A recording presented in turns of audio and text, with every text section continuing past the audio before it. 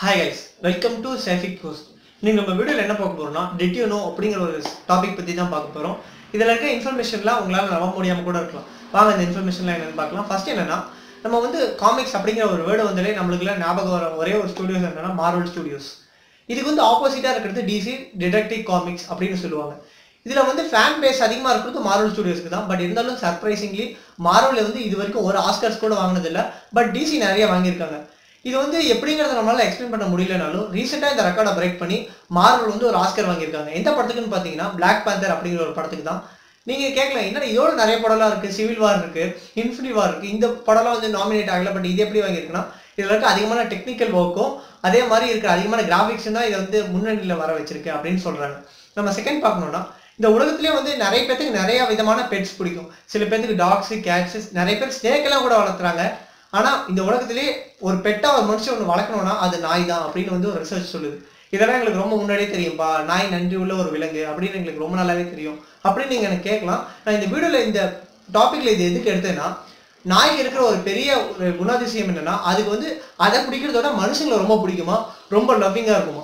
இதை வந்து நிறைய பேர் வேற விதமாக கூட கேட்பாங்க. க- தெருநாயெல்லாம் இருக்குது பக்கத்தில் போனாலே கடிக்க வருது. அது எப்படின்னா அந்த நாய் யார் வளர்த்தி அது கூட யார் ரொம்ப அட்டாச்மெண்ட்ல இருக்காங்களோ அவங்கள மட்டும்தான் அதுக்காக அது உயிரையே கொடுக்குற அளவுக்கு அது சாக்ரிஃபைஸ் பண்ணும். மற்றவங்க யாராக இருந்தாலும் உயிரை எடுத்துரும்.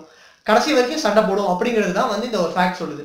நம்ம அடுத்தது என்ன பார்த்தோம்னா இப்போ இந்தியாவில் கூட நிறைய ஒரு உமன்ஸ்க்கு எதிராக ஒரு சோஷியல் இன்ஜஸ்டிஸ்லாம் நடந்திருக்கு. மிஸ்பிஹேவிங் பண்ணியிருக்காங்க. இதே மாதிரி எத்தோப்பியா அப்படிங்கிற ஒரு கண்ட்ரியில் ஒரு சின்ன பொண்ணுகிட்ட ஒரு செவன் மினிட்ஸ் சேர்ந்து மிஸ்பிஹேவ் பண்ண வந்திருக்காங்க. அந்த இடத்துல வந்து லைன் ரொம்ப ஃபேமஸாக நிறைய லைன்ஸ் இருக்கான்.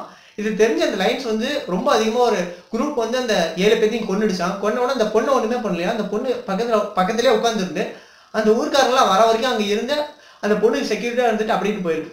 மனுஷங்களோட அதிகமான ஒரு மனிதத்தன்மை வந்து மிருகங்கிட்ட இருக்கு அப்படிங்கிறது ரிசல்ட் சொல்லுது. இன்ஃபேக்ட் வந்து இது நீங்களும் வந்து ஒரு தெரிஞ்சுக்க வேண்டிய ஒன்று நம்மளோட கேரக்டர் நம்ம எப்படி இதுக்கு மாதிரி மாற்றிக்கணும் அப்படிங்கிறதும் ஒரு முக்கியமான பாயிண்ட் நம்ம அடுத்தது என்ன பார்க்க போகிறோம்னா இது கொஞ்சம் இன்ட்ரெஸ்டிங்கான ஒரு ஃபேக்ட் தான். இப்போ வந்து ஒரு சிவிங்கம் வந்து டைஜஸ்ட் ஆகிறதுக்கு வந்து செவன் இயர்ஸ் ஆகும் அப்படின்னு ஒரு வீடியோவில் சொல்லியிருந்தேன். இதெல்லாம் வந்து ஒரு நார்மலாக ஒரு அசைட் இருந்தாலும் ஹியூமன் பாடியில் ப்ரொடக்ட் ஆகுத ஒரு ஹைட்ரோக்ளோரிக் ஆசிட் ரொம்ப முக்கியமான ஒரு ஆசிட் இந்த ஆசிடோட கான்சென்ட்ரேஷன் ஹியூமனோட ஸ்டொமக்கில் அதிகமாக இருக்கும். இந்த ஸ்டொமக்கோட இதை குறைக்கிறதுக்கு தான் வந்து நம்ம பேஸ் அப்படிங்கிறதையும் எடுத்துக்கிறோம். அதுக்கு தான் வந்து டைஜின் அப்படின்னு சொல்லுவாங்க. இந்த டைஜின் வந்து நம்ம சாப்பிட்றது ஒரு நார்மலான விஷயம் தான் பட் இந்த டைஜினோட லாஸ்ட் ஒரு ஒரு டிப் மட்டும் இருக்கும்.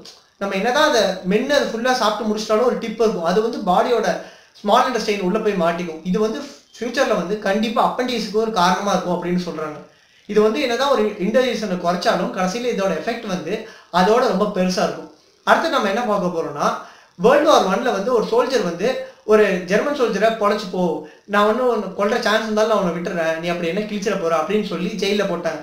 அந்த சோல்ஜர் வந்து ஒரு இதே வந்து ஒரு பெரிய ஹேட்டராக வச்சுக்கிட்டு கடைசியில் வந்து அந்த ஜெர்மனிக்கே பிரசிடென்ட் ஆகி இந்த உலகத்தில் கிட்டத்தட்ட ஒரு இரநூறுலேருந்து முந்நூறு கோடி பேர் சாகிறதுக்கு ஒரு காரணமாக இருந்தவர். யாருன்னு பார்த்தீங்கன்னா அது யாருமே இல்லை அடாப் ஹிட்லர். நம்ம எல்லாத்துக்குமே தெரிஞ்சு ஹிட்லர் தான். இவர் வந்து வேர்ல்டு வார் ஒன்ல கலந்துக்கிட்டப்ப இவர் வந்து குதிரையில் ட்ராவல் பண்ணிட்டு இருக்கும்போது தடுக்கி கீழே விழுந்துட்டார். அப்போ வந்து ஒரு பிரிட்டிஷ் சோல்ஜர் கண்ணை வச்சு இவர் ஷார்ட் பண்ணதுக்கு பதிலியா இந்த மாதிரி ஒரு வேர்டை சொல்லி இவங்களை பிரசன்ட்ல போட்டாங்க. இவர் அதுக்கப்புறம் பிரசிடென்ட் ஆகி இதே மாதிரி நீ எனக்கு உயிர் பிச்சை கொடுக்குறியா? இப்போ நான் உயிரியே உயிரே எடுக்கிறேன் அப்படின்ட்டு கிட்டத்தட்ட முந்நூறு கோடி பேர் சாகிறதுக்கு ஒரு காரணமாக இருந்த அடால்ட் ஹிட்லரோட கதை தான் இது.